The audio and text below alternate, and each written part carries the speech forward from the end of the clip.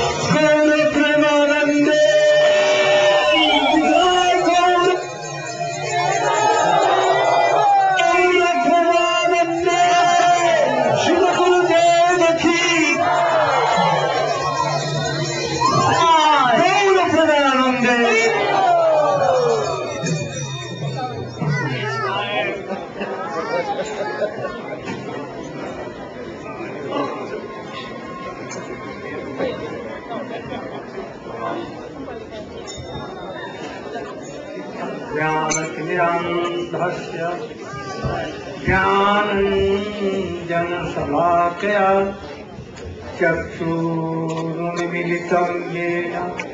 तस्मै श्रीगुरवे? वञ्चाकल्पतरोभ्यश्च कृपा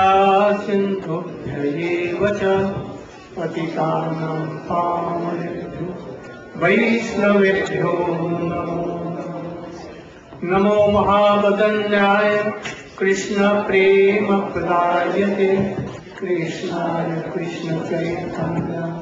नमे गौरतिषे गुरवे गौरचन्द्राय राधिकाय प्रदाय कृष्णाय कृष्णभक्ताय तद्भक्ताय नमो। तवैवास्मि तवैवास्मि न इमामि त्वया विना इति विज्ञाय राधे अङ्गय मामचरणन्तिके First of all, my millions of Dandvat Pranam. In the lotus feet of my spiritual Guru Nitya Pravishtam Vishnu Pasis Madhbhakti Shri Pragyan Keshav Goswami Maharaj. And same to my shiksha guru Nityalila प्रविष्ट ओम विष्णुपाद श्रीमद भक्ति वेदांत स्वामी महाराज और program festival is going all very nicely no complain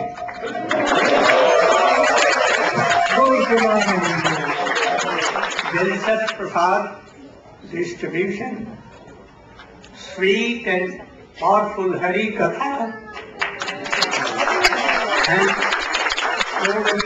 Vaishnava sannyasi today we are fortunate the first sannyasi of Srila Bhakti Vedanta Swami Maharaj Shri Kirtanananda Prabhu is here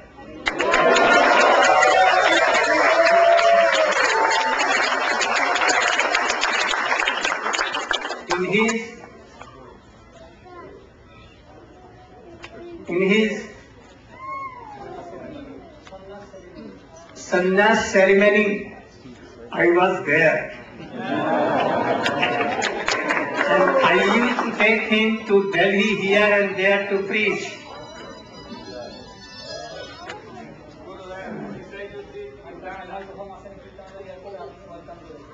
And only I received Swamiji with him when they landed to India from Western country first time. I was.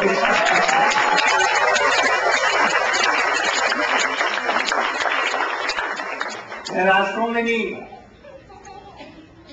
remembering things that I remember. Perhaps he is also remembering. He has helped in so many ways to his Gurudev, especially he made a golden temple in, uh, in Virginia. Uh, very beautiful, I have gone there. He was a very strong preacher at that time. So I want that he should speak two words for devotees.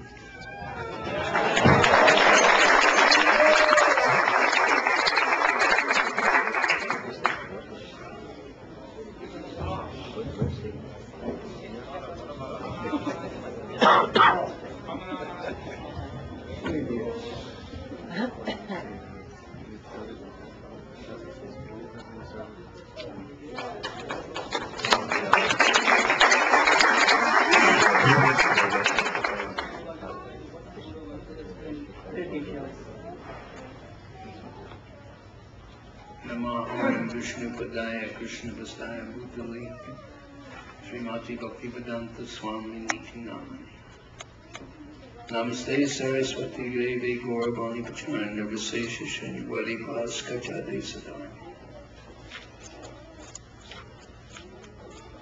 I feel so fortunate to have the privilege of being here in the presence of all these wonderful Vaishnavas, and especially in the presence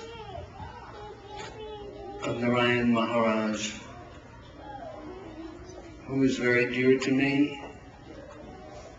He assisted Srila Prabhupada in my sannyas ceremony. In fact, he made my danda. So I've always felt very close to Maharaj.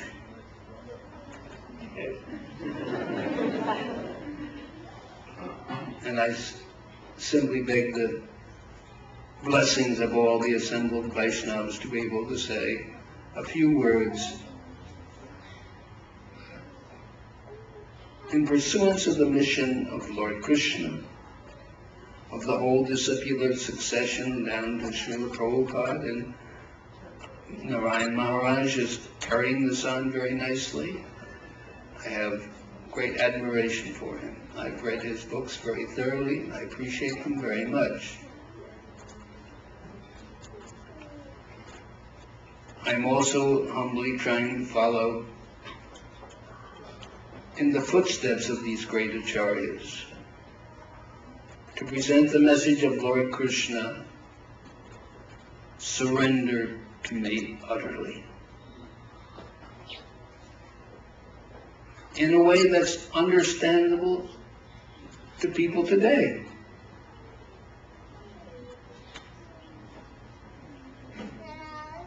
I've had inspiration, I think, to put, this in a little easily understood formula of thanking Krishna for now as it is. There's no question of surrendering the past, it's gone. There's no question of surrendering the future, it may never come. One can only surrender now. And we surrender to now by being grateful for whatever it is. Because it has been sent by the all good Krishna, the Supreme Personality of God. Thank you, Krishna, for now as it is. But then there's a second part, which indicates our independence, our free will. How do I use it in the best way for your service, Lord? Generally, most materialists, they try to seize the present moment and exploit it for their sense gratification. That's one way to use the present moment. That's the way of duality, the way of material life, of good and bad, of success and failure. But that's not the spiritual way. That's not the way of Krishna consciousness, which is the way of gratitude for the present moment as it is, whatever it is. It may look very bad to our senses, but we're not these senses. We're not this body. We're not this mind. Thank you, Krishna, for now as it is. How do I use it in the best way for your service, for your pleasure, for your purposes?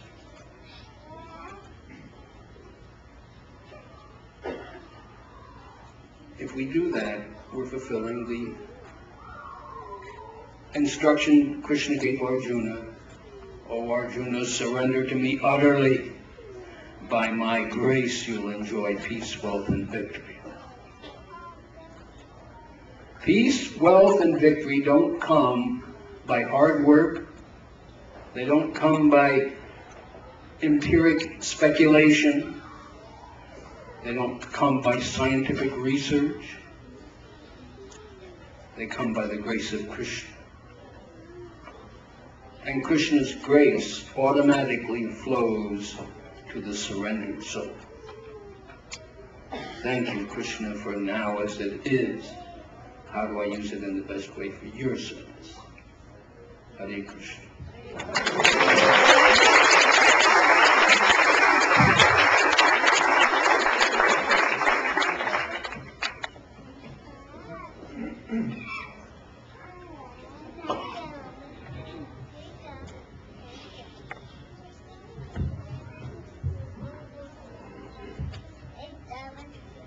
Sadhu Maharaj speak two words. Stand up here.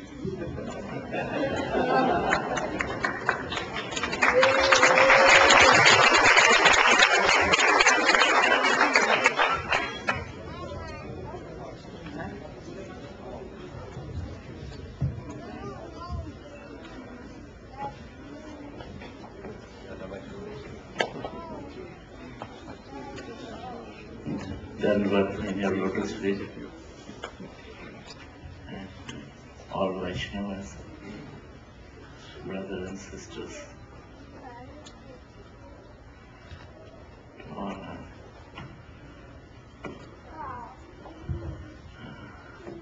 I'm very fortunate.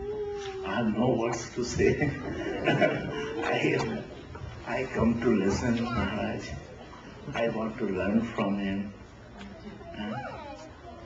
I'm very shy to say anything. Just I I come to his center to learn something and to to take inside to practice that in our life. We I cannot speak. Uh, I remember when he was in Holland, Maharaj, he said, you are preaching, you go to preach. I said, no Maharaj, I don't go for preaching, just I go to see Vaishnavas. And then he said, you don't need to preach. When you will go, love will come for Krishna. I said, your blessing. the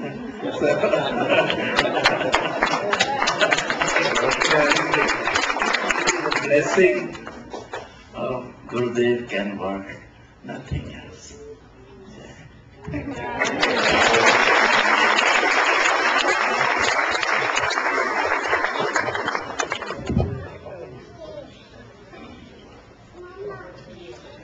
Now, we are coming in sweet and powerful Srimad Bhagavati Katha. who have told about Narad and Vyas. How should we follow Gurudev and follow their his teaching? Then you know Rishabh Dev, he has hundred sons among them, Bharat was eldest, and he was Bhaktiman. In his half age, about 50,000 years, left this world as he stood and came to forest. to bhaj- do bhajan of Krishna. And he, after long time, he came in bhav stage, rati stage, premanku. But due to attracted with a dear child, how he lost his three lifetime. And what are the teaching from his life? Srimant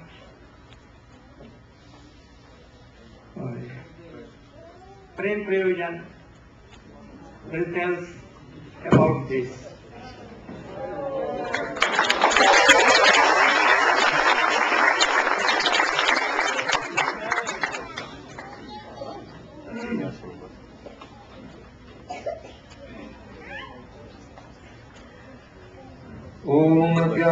منهسا Garden and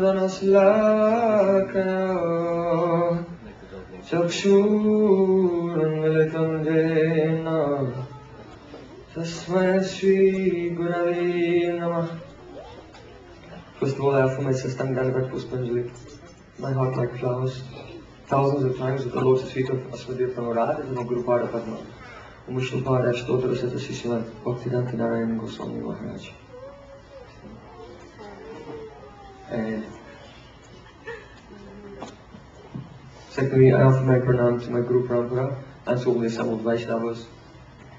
And thirdly, I mm, offer my sincere apology at the Lotus Feet of Srila Gurudev if I have caused him any distress or disturbance. And also to all the Vaishnavas in our Srila Gurudev's wonderful transcendental family. Pancha Kripasana Kripasana. So Srila Gurudev ordered me to elaborate upon the uh, history of Bharat Maharaj. Bharat Maharaj heard teachings from his father, Shaktavesh Avatar Rishabdev. And so when he was 50,000 years old, halfway through his life, he realized the nature of this temporary world and left everything as if it was a, completely has no value like stool. And he went to the forest to practice his meditation and devotion to Shri Krishna. So, actually to Sri Narayan Bhagavan in the form of Narayan. He was meditating in the forest, and then one day, as you know, a deer was drinking water in a river. And a lion came and roared, and the deer became afraid, and in fear tried to escape by jumping across the river. But that female deer, doe, was pregnant, and the baby deer in her womb came out and fell into the water. Then the mother deer, she managed to cross the river and come out on the other side. Mm. But she was afflicted by in, the intense trauma of the situation of losing her child and being scared by the ferocious animal. So at that moment, she was about to die from the shock, from the trauma. And as that doe was about to die, she looked, beautiful doe-like eyes, towards Bharat Maharaj. And by her eyes, she asked him, save my child, and she died. Very pathetic. So Bharat, he immediately got up and he went to the river and took the baby deer out from the river. Now this deer is helpless. No mother, no one to feed the deer, take care of it. So he adopted the deer like his own child and was feeding the deer and protecting it always every day. And the deer began to grow and grow and grow. Hmm? So as the deer was growing and growing, Bharat Maharaj, his attachment. Hmm? Wherever we render service, attachment will come there. Hmm? If we serve things in the material world, attachment will come. If we serve a person of the transcendental world, Srila Gurudev, our Guru Parampara, attachment will come and take us there. But he was, he became attached to a deer in this case. And now, though outwardly he was doing sadhana, but really he was not doing sadhana. He would sit and chant his mantra, and the deer would come and rub his wet nose under his arm, and he would take the deer and take the deer in his lap. Mm-hmm. If the deer would not come, then he is not remembering mantra. He's thinking, where's my baby deer? Mm-hmm. So outwardly he was doing sadhana, but internally he was not doing sadhana, because now his mind had become attached. So one day, other deers came in a herd, and that deer left him and went away. But Maharaj became like a mad person, wandering here and there, looking around, seeing the footprints of the deer in the sand. Oh, what austerities did the earth planet perform to have the touch of my deer's feet? By the touch of my deer's feet, the world is purified and fit for the performance of sacrifice. He became completely maddened, so, so much in love hmm, with this baby deer. Our acharyas commented that actually attachment was for his son, but he'd given up and again it came back and was transposed upon the deer, superposed upon the deer. So in this way, his life was passing and the time of death came. And at the time of death, instead of remembering his Ishtadev, he remembered the deer. And then what happened? As Krishna said in Bhagavad Gita, Yam yam vapismanam bhavam chadyatsyati kalevaram. Whatever one thinks of at the time when he gives up the body, tam tame vaiti konteya sata tad bhav bhavita. One will become like that. So he left his body uh, and entered into the body of a deer. But because he'd come into where? Bhavavasta, or Rati. Hmm, he was very advanced. So even though he took birth as a deer, he was not like other animals. He had a remembrance of his previous life. So when he took birth as a deer, he thought, hey, what have I done? I've made a very big mistake. I've deviated from my spiritual life, and now I'm in the body of a deer. But in that life, he was determined, again I will not become attached. So he did not live with the other deers, but he went away.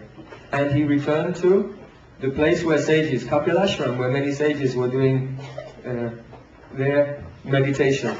And as a deer, he would go there and listen to their Harikatha and associate with them. And he would not eat the fresh green grass. Hmm? That's sense, big sense gratification for a deer.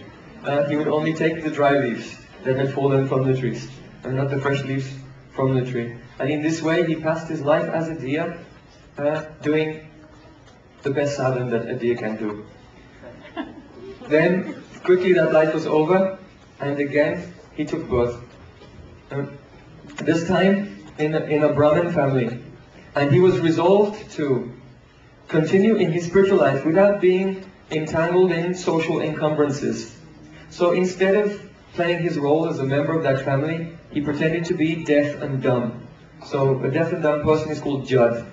Jad. So in this life we know him as Jad Bharat. Mhm.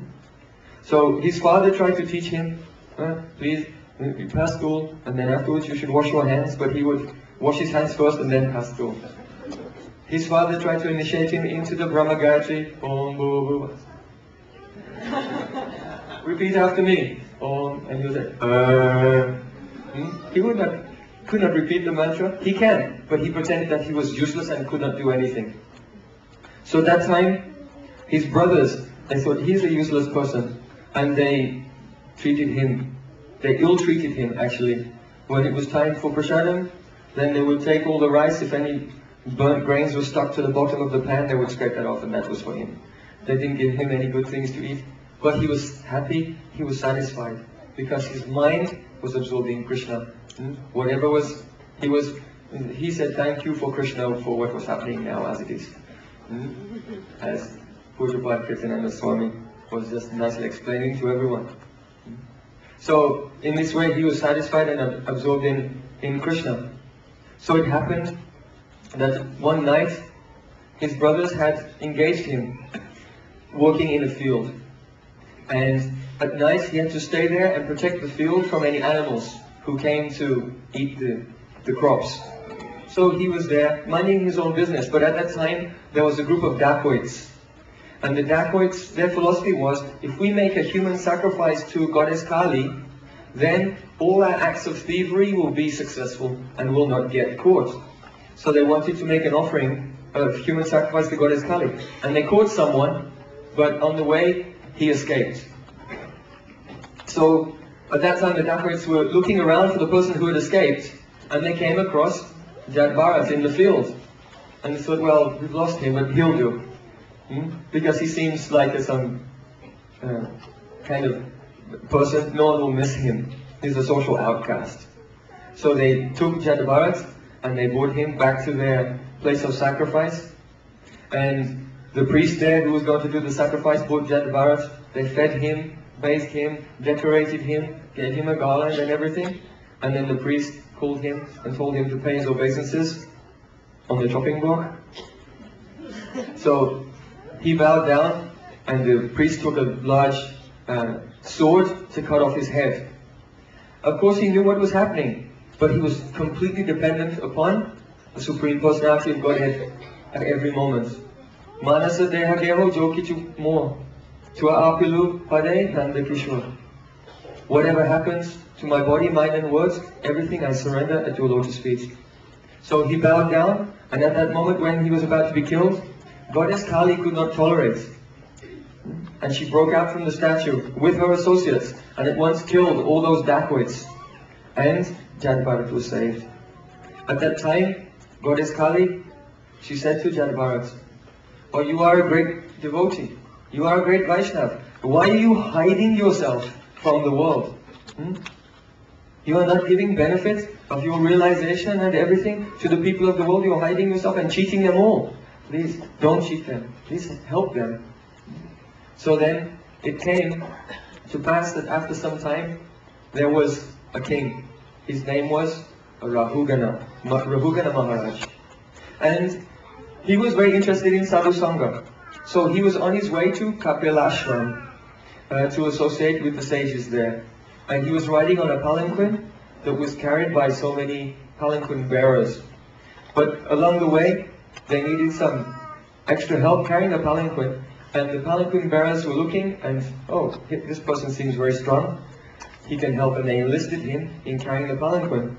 So when Jadbharat was carrying it, he was walking along, but he was looking very carefully that he should not step on any insects. Hmm? Trinada sadahari. He wanted to give respect to everyone, hmm? even to an ant. So he was very carefully uh, stepping here and there and avoiding the ants, so he could not keep in step with the other carriers. In this way, the palanquin was shaking, and the king, he looked out from the side. Hey, what are you doing? Carry the palanquin properly. They assured him, yes, we'll carry it correctly. Again, Jadabharat was stepping here and there, and the palanquin was shaking. The king became angry. What's going on? Carry the palanquin properly. And then they told him, Your Majesty, we have this new bearer and he's not cooperating. Hmm? So then the king, he chastised him. Hey, who are you? What are you doing? Hmm? I know that you cannot carry the palanquin very well because you've been carrying it for so far. Hmm? Actually, just been enlisted a few minutes before. You carried it so far, maybe you're tired. Because you're not very strong, you look rather lean and thin. Jadbharat was really well, strong and well built. And with sarcastic words, the king was chastising him. He said, look, I am the king, you are my subjects. You should obey me. If you disobey me, I'll punish you. Hmm?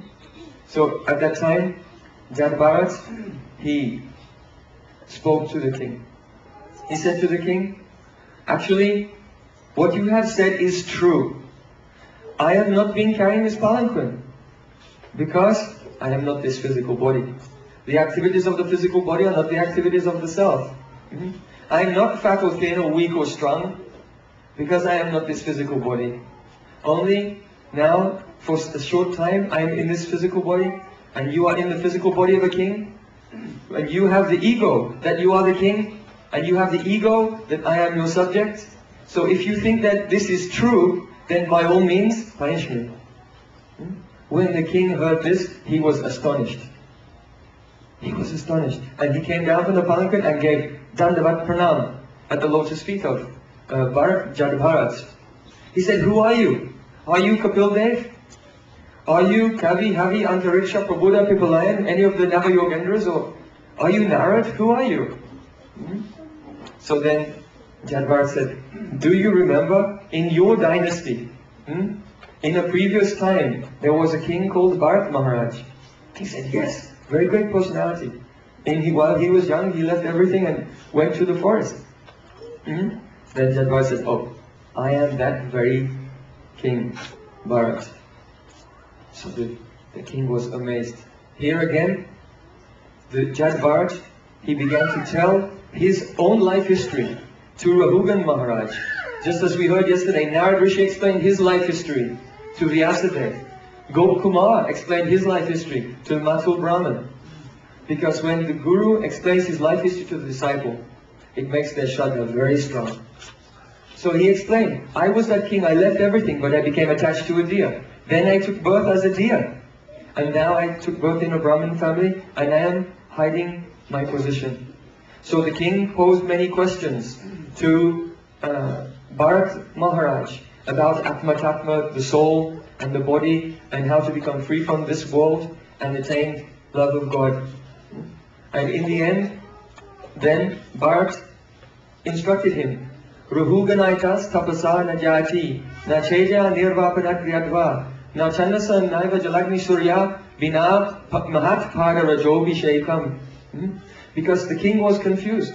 You have explained Atma Tattva and these things to me, but I cannot properly understand. So Bharat Maharaj gave the conclusion. It is not by austerities, it is not by study of the Vedas, it is not by the performance of sacrifice, it is not by observing one's various duties, worldly duties, etc., that one can understand the absolute truth. There's only one way a person can understand the truth. What is that? Bina mahat. One has to take abhishek, complete shower, hmm? completely shower oneself in the foot dust of a Maha Bhagavad Vaishnava, in the foot dust of a pure devotee. To surrender oneself there and pray. O Gurudev, O Vaishnava Thakur, sprinkle your mercy that the Supreme Personality of Godhead's lotus feet may appear within my heart. Hmm? So this is the history of Bharat Maharaj, and there are some very important teachings in it for us. First of all, when Bharat Maharaj became attached, hmm, he did not have to go down, but he did not take sadhu sangha. He did not go to any very advanced Vaishnava, take shelter there, and be saved. Hmm?